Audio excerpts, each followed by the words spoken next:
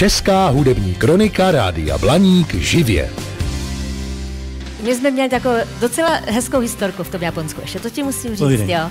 Protože ti Japonci, my jsme tam byli mimochodem na festivalu písňovém, že jo.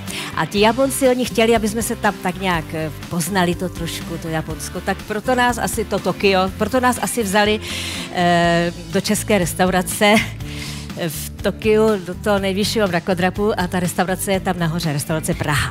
A hádejte, co nám uvařili, nechali uvařit.